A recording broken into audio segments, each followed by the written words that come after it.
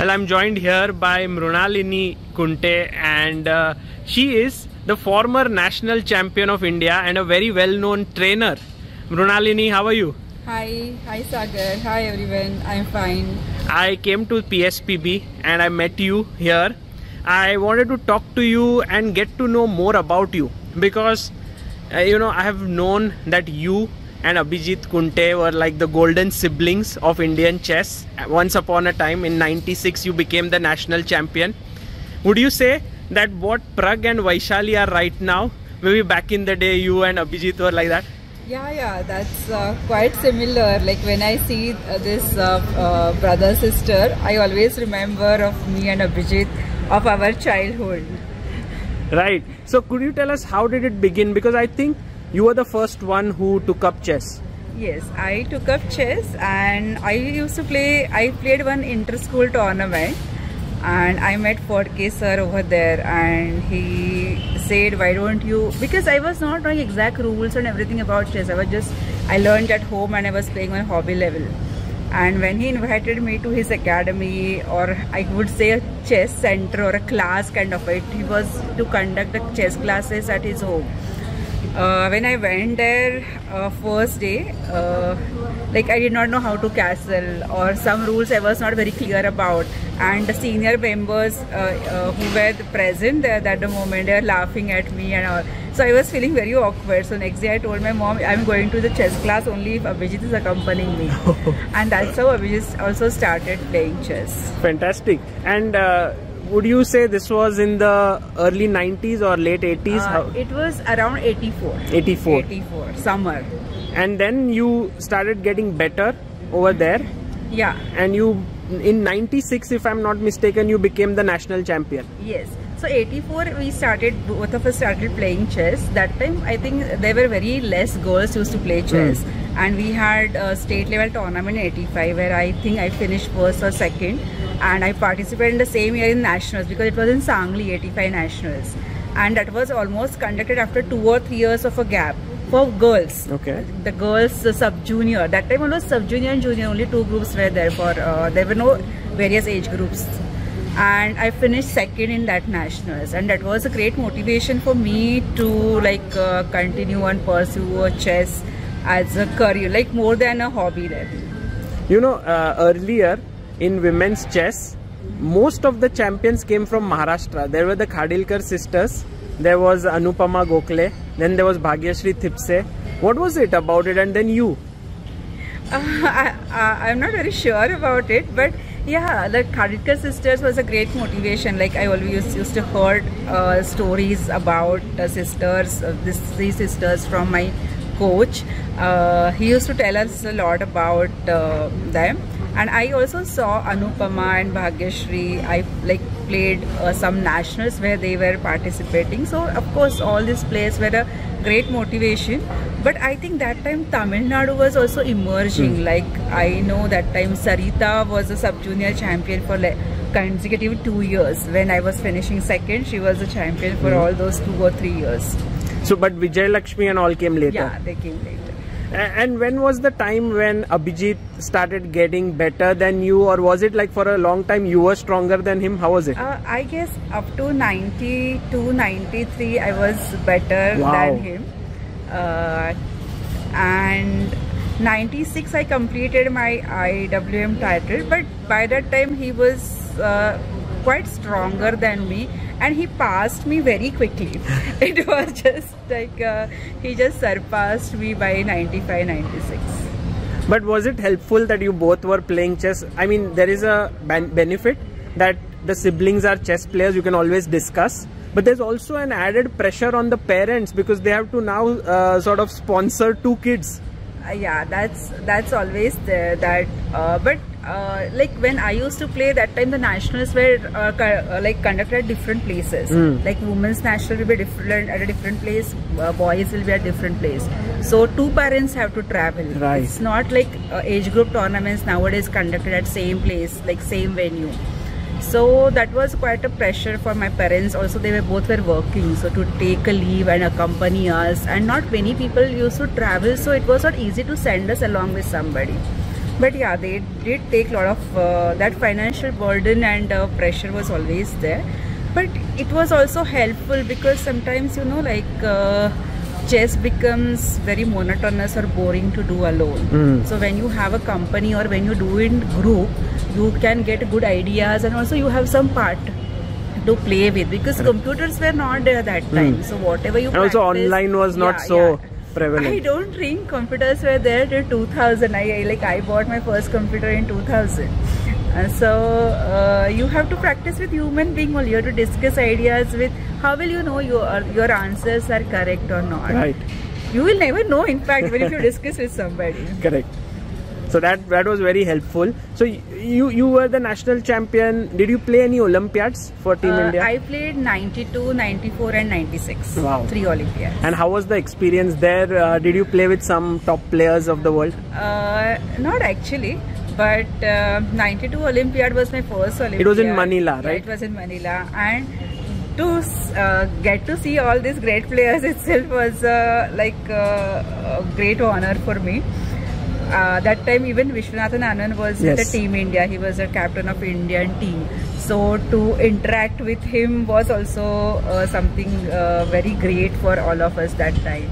And to see like Shirov played, Kasparov played that Wow. Olympiad. So to see come across all these players was uh, kind of a great motivation. 92 Olympiad, 94 was uh, in Moscow. Mhm. Uh, so I think that was uh, that time I was quite serious because I was a uh, first Olympiad I was a reserve, the fourth board, so I could get some offs. But 94 was I was in main team.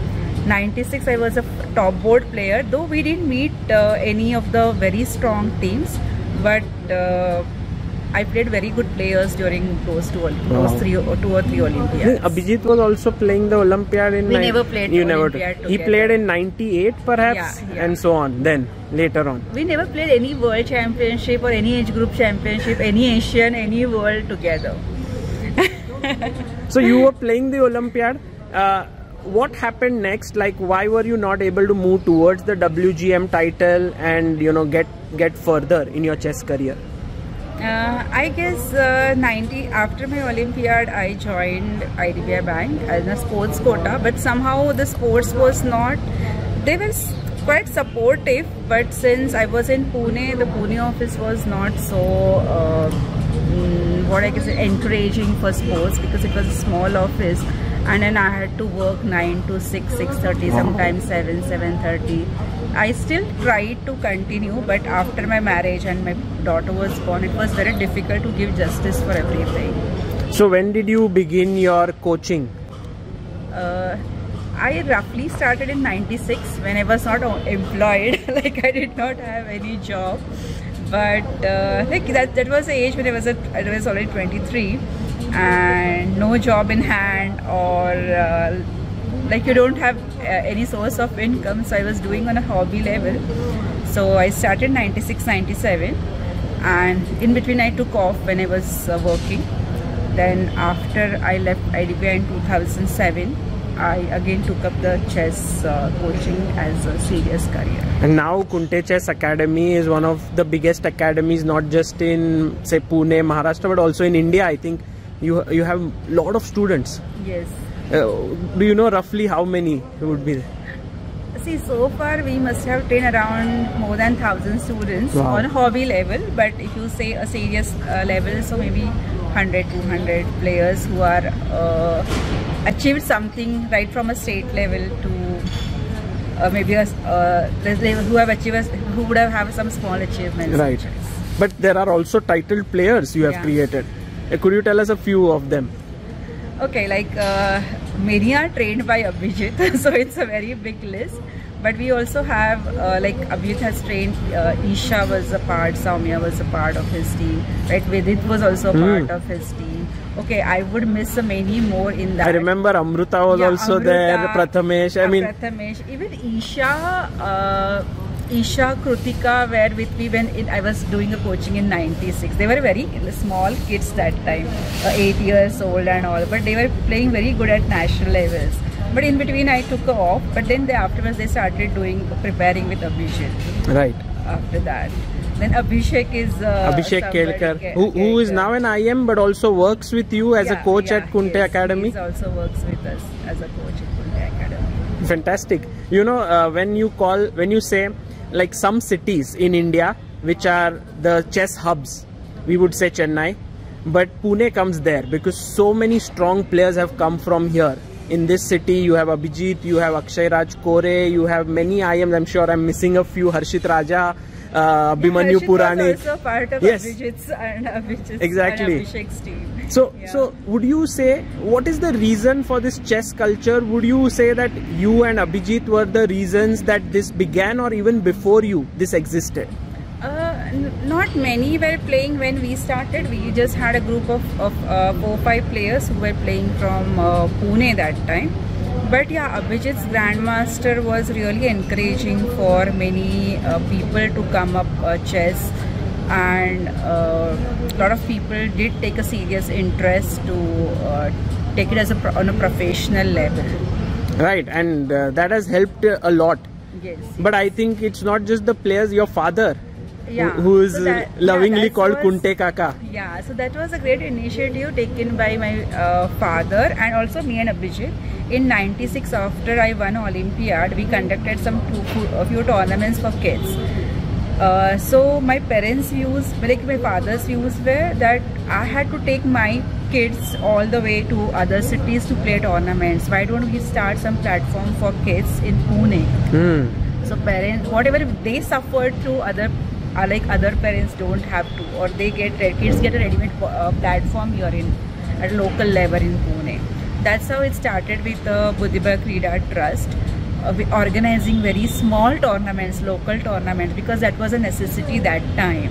And now you know, like it has grown up uh, so big. Like they're fantastic. uh, they are doing a lot of events, sponsoring events, and sponsoring some players, needy players as well. Yeah, I know it's an unbelievable work because even at this age, I, I believe your dad must be 80 years old. Uh, yeah, he's 78. 78 he still has that passion and energy to do tournaments he writes i see on whatsapp there are these reports that he writes down where does that come from Uh, It, it was very great on his part to get conversed you like with the computer Yes. and uh, systems, WhatsApp. Okay, he's not still on Facebook, but uh, uh, like even he can do the pairings and all these things. Like he learned a lot of uh, computerized, like a lot of things related to computer also. But he's very energetic when it comes to chess. Like he really loves to do something or other things for the chess always. amazing it's such a nice chess family we know about your father could you tell us a bit about your mother she's here i saw her sitting inside the she venue Is, I, th- I think she is the backbone of everything. So all these systems could run just because of her. Because a great job she always did was supporting all of us. Like especially when we are we are nervous. The dad used to go get very angry when we used to lose and all. And we also used to get upset. But she was the one who always encouraged us. Uh, she was the one who encouraged me to leave a job and start this academy because it was not a, a very easy decision to leave a nice bank government job and start the academy. But she was a great support that time. Also she helped me initially for academy. This Krida trust helping tournaments when we never had a volunteer she was one of the volunteer to look after the things.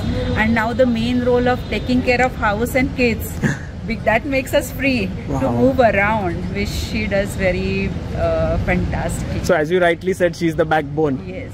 Fantastic.